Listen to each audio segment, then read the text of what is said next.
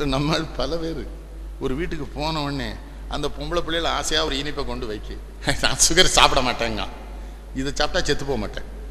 அந்த உன்னை தின்ன அந்த பிள்ளை இவ்வளோ ஆசையாக கொண்டு வைக்க ஆ?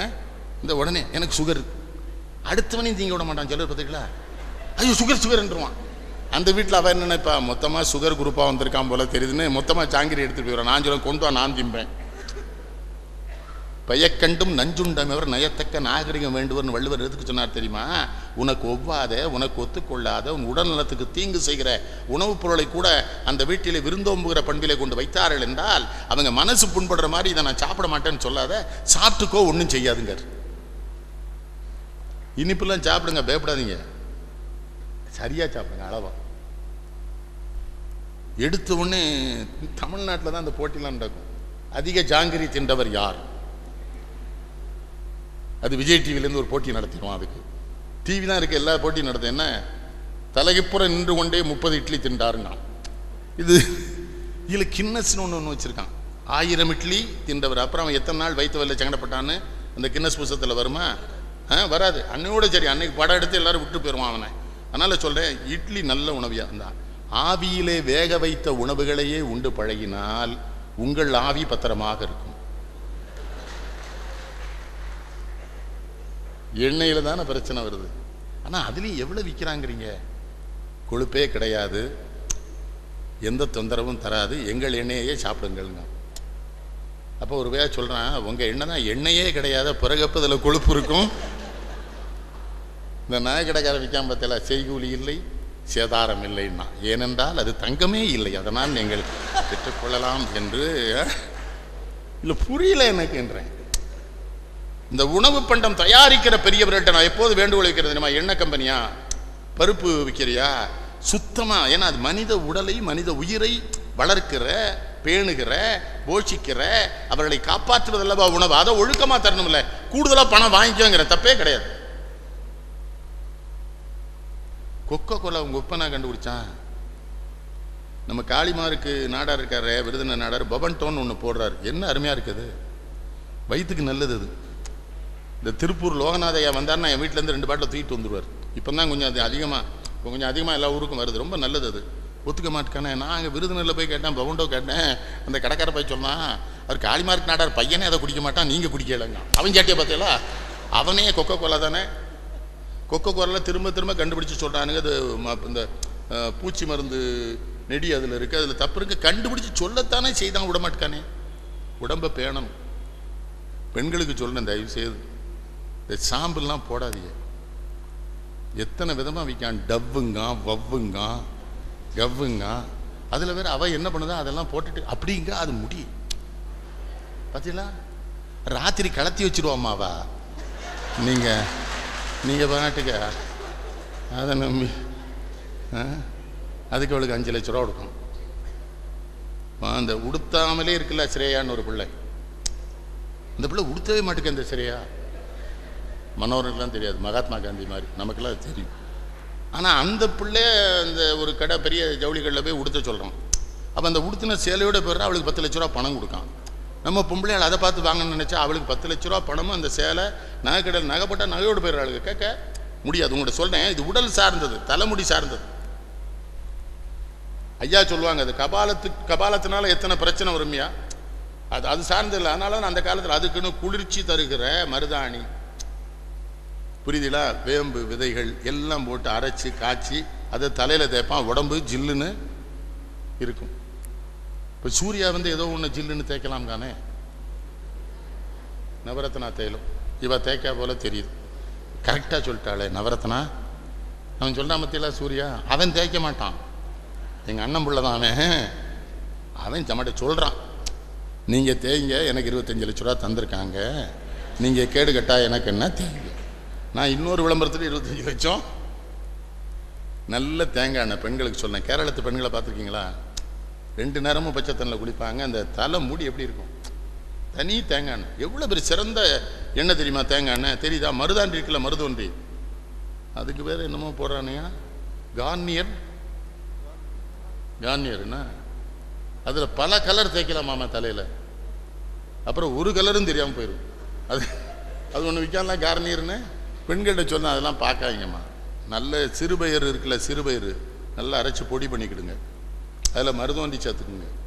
குளிக்கிற பொழுது அதில் ஒரு நாலு சொட்டு தேங்காய் எண்ணெய் விட்டு நல்லா தலைக்கு தேய்ச்சி குளிங்க. மேலெலாம் தேய்ச்சி குளிங்க. உடம்பு அருமையாக இருக்கும். இல்லை டாக்டர் இதெல்லாம் உடம்பை பாதிக்கும்ல அவங்ககிட்ட கேட்குறேன் இந்த இந்த சென்ட் அடிக்காம பார்த்தீங்களா அந்த ஊர் பொம்பளை பிள்ளை பூரா அவன் பய கூட அதை பய கூட போகுது. எங்கள் ஊரில் ஒரு பேர் அடிச்சுட்டு நடுரோட்டை நின்றுன்னு பார்த்தான் கிடைச்சல அடி கொன்னுட்டானுவன் எங்கள் ஊரில். அப்புறம் தான் சொன்னால் அதிலெல்லாம் புள்ள ஓடி வந்தது நம்ம ஊரில் ஏன்னாச்சு அடிக்கான்னா அதெல்லாம் துட்டு வாங்கிட்டு ஓடிச்சில்ல நம்ம ஊர் புள்ள திருநெல்வேலி உனக்கு தெரியும் வெட்டிடுவான்னு வருவாள் எடுத்து. கிரிக்கெட் கிரவுண்டில் அவனை தூக்கிட்டு போகும்போது பத்து பேர் அவன் மேலே படுத்துக்கிட்டு தான் இந்தியாவில் ஒரு விளம்பரம் காட்டுறானே. நம்ம பண்பாட்டுக்கு விரோதமான ஒழுக்கத்திற்கு விரோதமான நம்ம நாட்டுக்கு விரோதம். யாராவது கண்டிச்சிருக்கீங்களாயா எந்த பத்திரிகைக்காரனாவது கண்டிச்சிருக்கானா எப்படா அந்த நாட்டில் இந்த விளம்பரத்தை காட்டலாம்னு? அதெல்லாம் உடம்பு கேடுதானே? எதுக்கு சென்ட்டு? நல்ல குழி. பல வீட்டில் நம்ம க கணவனும் மனைவி முத்தம் கொடுக்காத காரணமே சரியாக பல் தேய்க்கல. அதுக்கு நான் என்ன பண்ணுறது பல்ல நல்லா விளக்கணும். வயிற்றில் மலம் தங்காமல் பார்த்துக்கணும். வயிற்றில் கீச்சி தங்காமல் பார்த்துக்கிட்டா வாய் நாற்றம் வராது. நம்ம பெரிய கவுண்டம் பூரா வேப்பலை குச்சியை சவைச்சு தண்ணி நல்லா இருந்தது எல்லாத்தையும் கேவலப்படுத்திட்டீங்களே. நம்பூதிரி பல் பொடியை தான் வாங்கி இப்போ தேய்க்க வேண்டியிருக்கு. அவர் ஒருத்தர் கடுமையாக விளம்பரம் பண்ணுறாரு உங்கள் பகுதியில் போகிற நம்பூதிரி பல் பொண்ணு ஒன்று இந்த பர்பஸையில் எத்தனை வச்சுருக்கான் பாருங்க. அந்த பல் பல்லு தேய்க்கிற ப்ரெஷ்ஷில் எத்தனை? ஓரல் பி வாங்குங்க. கவுல்கேட் வாங்குங்க. பெப்சோடன்ட்டு வாங்குங்க. எல்லாவற்றையும் வைத்து தே இறுதியில் என்ன ஆகும் பல்லே காணாமல் போய்விடும். கவலையே படாதே பல்லே. ஒன்றும் வேணாம். கொஞ்சம் உப்பு வெறும் உப்பு கொஞ்சம். கொஞ்சம் மிளகு ரெண்டு இடிச்சு வச்சு நல்லா தேய்ச்சிட்டு பல்ல பாரு. இப்போ நான்லாம் இதுவரை பல் விழலையே எனக்கு. பல் விழுந்திருக்கா? பல்லாட்டு போய் பல்ல காமிச்சிருக்கேனா? உங்கள்கிட்ட என்ன சொல்ல ஆரோக்கியமாக வைப்பதற்கான வழிலாம் நம்மகிட்ட இருக்குது. நல்ல தண்ணி குடிங்க. காலையில் எந்திரிச்சோடனே நான் சொன்னல அந்த செம்பு தண்ணியில் ஒரு செம்பு. ஃபுல்லாக குடிங்க. நல்லா நடங்க. நல்ல வேர்க்கணும். நல்ல எங்கள் ஊரில் தான் என் எங்கள் ஊரை நான் ரசிக்கிறதுக்கு காரணம் அது அப்படி ஒரு ரசனையான ஊர். அப்படிலாம் ஆட்கள் பார்க்கவே முடியாது. நான் சொன்னேன் எல்லாம் சாப்பிட்டுட்டு திணறதே இல்லை ஆமாம் ரெண்டு விரலை கொடுத்து வாந்தி எடுத்துட்டான்னாங்க ரெண்டு விரலை கொடுக்க வாய்ப்பு இருந்தால் தான் இன்னும் ரெண்டு வடை தின்றுப்பனேங்க அவன் அப்பவும் அதை என்ன கணக்கு எடுக்கான்? அந்த கேப்பை இன்னும் ரெண்டு வடையை உணவை அழகுற உங்கள்கிட்ட எல்லாத்தையும் சொல்ல சுகர் வராதியா? சுகருக்கு இன்னொரு காரணம் என்ன தெரியுமா? தேவையற்ற மனக்கவலைகள். சரிதானே டாக்டர் நான் சொல்கிறது நீங்கள் பாட்டு ராத்திரி நான் தூங்கும்போது எனக்கு அது ஊசியை போட்டுறாதீங்க. இவன் பாட்டு வளருதாம்னு. மனக்கவலை ஒரு பெரிய. உங்களோட பச்சையாக கேட்கேன் நீங்கள் ரொம்ப ஆசைப்பட்டு அவதப்படாதீங்க. அவதி அவதிப்படக்கூடாது. ஒரு சாமியார் எல்லாத்துக்கும் ஆசைப்படுங்க. ஆனால் நம்ம பழைய சாமியார் போனால் ஆசைப்படாதேன்னு? நானே பிரதம மந்திரி ஆகணும்னு ஆசைப்பட்டேன். ஆனால் அதுக்கு முந்நூறு எம்பி வேணும் நானுங்க அப்போ வேண்டான்ட்டேன். அது எதுக்கு நம்மளால் முந்நூறு எம்பிலாம் ஏற்பாடு பண்ண முடியாது? அதனால நம்ம பிரதமர் பதவி ஆசையை உங்கள்கிட்ட என்ன சொல்றேன் ஆசைக்கு ஒரு அளவு வச்சுங்க. உங்களுக்கு என்ன எல்லையோ அதுக்கு மேலே ஆசைப்பட்டீங்கன்னா. ஏதாவது ஒன்று கிடைக்காத பொழுதுதான் அந்த மனச்சங்கடம் வருது மன நொம்பலம் வருது. முதல்ல குடும்பத்தை நல்லா வச்சுக்கிட்டாலும் நோய் கிடையாதுயா மனைவிட்ட அன்பாருங்க. அன்பாருங்கங்க. என்ன பண்றது? அவதான மனைவி. நம்ம இனிமேல் ஒன்றும் செய்ய முடியாதுல்ல. அப்போ அப்போ இதுதானே தெளிவாயிட்டுல? தெளிவாய் போச்சு. அந்த பிள்ளைகிட்ட அன்பா இருங்களேன் நான் ஒரு செய்தி சொல்லி தரேன். அன்பா இருக்க மாதிரி ஒரு மாசம் நடிங்க ஐயா. அப்புறம் அதாவது அதே அன்பா ஆயிரும். நடிச்சு பழகிட்டீங்கன்னு வைங்க. சரி ஆய்க்கிறோம். இப்போ நாங்கள்லாம் அப்படித்தானே நாற்பது வருஷமாக வண்டியை ஓட்டியிருக்கோம். நீங்கள் அதை எனக்கு மனக்கவலையே கிடையாது மனவர் உங்களுக்கு தெரியுமில்ல அரசியலில் இருந்தேன். எவ்வளோ பணம் இழந்தேன் தோத்தேன். வருத்தமே பிள்ளை எல்லோரும் கேட்பான் என்ன டேங்க வாடா. தெளிவாக தமிழில் சொல்லியிருக்கான் கணியன் பூங்குண்டன் நீர்வழி படுவும் ஆறுயிர் முறைவழி என்பது தர ஒரு காட்சியின் தெளிந்தனம். ஒரே வார்த்தை சொல்லிட்டான். வாழ்க்கை விதி வழி போகுது. இறைவன் நடத்திட்டு போகிறான் உனக்கு என்ன விதிச்சிருக்கோ அதான் உனக்கு கிடைக்கும். தேவையில்லாமல் என் சங்கடப்பட்டுக்கிறாங்கிறான் கணியன் பூங்குண்டன் ஏன் மனசை வருத்தப்படுத்திக்கணும்? இப்போ எனக்கு அந்த காலத்தில் பத்மினியை ரொம்ப பிடிக்கும். என்ன பண்ண?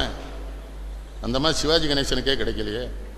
அப்போ நான் ஒரு தடவை சிவாஜிகிட்ட பேசிட்டு கொஞ்சம் நேரம், எனக்கும் பத்மினி ரொம்ப பிடிக்கும். நான் பிள்ளைவாள் உங்களுக்கு ரொம்ப சேட்டைன்னாரு. நான் சொன்னேன் உங்களுக்கு கிடையாதுன்னு அப்புறம் தானே நாங்கள் ஆரம்பித்தோம்னே அவங்க அம்மா அவரை கல்யாணம் பண்ண விடல அந்த பொம்பளைய. நீங்கள் பார்த்தீங்களா அது மனசுக்குள்ளே கிடந்திருக்கு ரெண்டு பேருக்கும். பத்மினி அம்மா கடைசி காலத்தில் ஒரு பேட்டியில் சொல்லிச்சு தெரியுமா? நீங்களும் சிவாஜி ஏன் திருமணம் பண்ணிக்கல? என்ன பண்ணுறது அவர் கள்ளர் நான் நாயர்னு அந்த அம்மா. அறுபத்தஞ்சு வயசில் அது மனசுக்குள்ளே அது கிடக்குது. சிவாஜி என்ன பண்றாரு? சென்னையில் ஒரு நிகழ்ச்சியில் இருக்கும். பத்மினி அம்மா ரொம்ப நாளைக்கு அப்புறம் அமெரிக்காலேருந்து வருது இப்படி வருது இல்லை? அது இவரை சரியாக கவனிக்கல போய் உட்காந்துட்டு இவரு பப்பிம்மா என்னை பார்க்காம போறீங்க இவர். இதை பக்கத்துலேருந்து நம்ம நடிகை ஒருத்தன் பார்த்துட்டான். எங்கிட்ட வந்து சொன்னான் அண்ணாச்சி அவர்கிட்ட இருந்து, சும்மா ஒரு உனக்கு என்ன தெரியும்? எனக்கு தானே சங்கடம் தெரியும்? ஒரு மிகப்பெரிய கலைஞன் மனது மனதிற்குள்ளே இருந்த கவலை. கவலை வச்சுக்கிறாங்க எது நடக்குதோ அதை அப்படியே ஏற்றுக்கிட்டு சந்தோஷமாக போயிட்டு இருங்கய்யா நோய் கிடையாது.